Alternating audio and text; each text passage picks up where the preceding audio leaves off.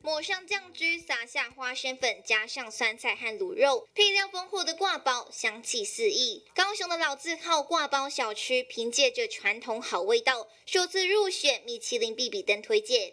当然蛮开心的啊，觉得很幸运啊，因为我们只是很小的店啊，但是就是说做比较传统的做法。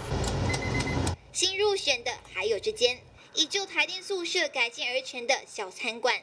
主打剥皮辣椒鸡，汤头清爽甘甜，富有独特性，让不少民众一试成主顾。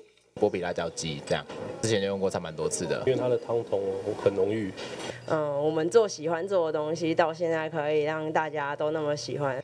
台湾米其林指南二零二四共有一百二十六家入选必比登，高雄就占了二十五家，其中还有五家餐厅新入选，分别为。春兰挂包和小顿时事，以月见肉臊饭闻名的秀明猪心冬粉，皮嫩肉 Q 的良家猪脚，以及正宗台菜的麦延顺。进一步来看，今年共有四十九家餐厅摘星成功，而被称作美食之都的台南，已经连续三年落榜。台南的美食是太甜了，可能评审也吃不习惯呐。不过这也是好事情啊，这样子就不用排队了。台南人最。享受美食之外，还有一种就叫人情味，这种东西不是米其林都可以得奖的可以得到的东西呀。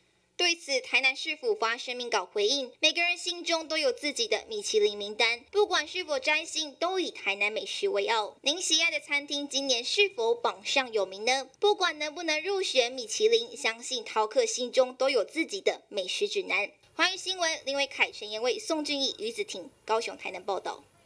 请订阅、按赞、分享环宇新闻 YouTube 频道，并开启小铃铛，及时掌握全球时事与最新趋势。